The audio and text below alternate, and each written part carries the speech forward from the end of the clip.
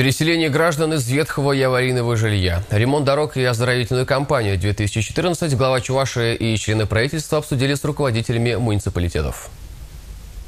Курс программы переселения из ветхого и аварийного жилья в Чувашии выполняется. Регион на хорошем счету у Минстроя России. Нам даже пообещали выделить дополнительные средства, заметил глава Чувашии. Однако сложности все-таки есть. Во-первых, подрядчики не очень охотно участвуют в аукционах. Органы власти могут приобретать новое жилье по социальным ценам, а они заметно ниже коммерческих. Во-вторых, возникают проблемы из-за метража старых и новых квартир. Мы строим, проектируем, другие площади. Разница возникает, и с этой целью надо в каждом отдельном случае отдельно, соответственно, смотреть, оценивать, как мы будем находить варианты решения.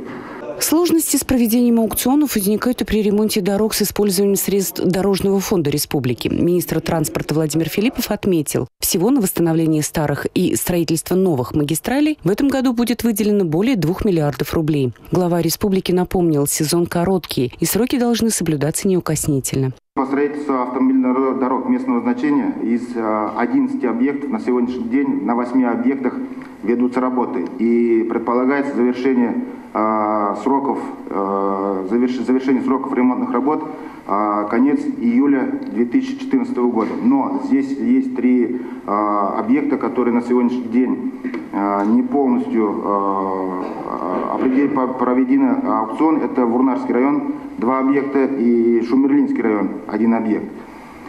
По ремонту дорог в городских округах из,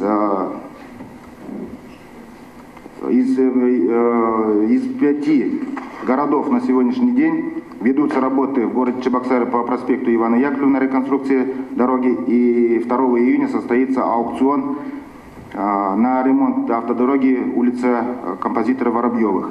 Значит, по Канаш, Шумерля,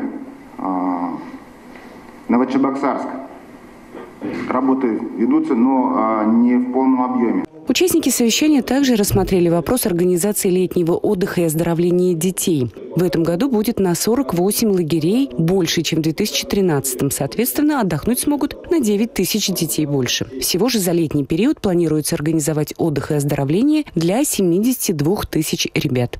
Елена Гальперина, Елизавета Зайцева, Сергей Рябчиков. Республика.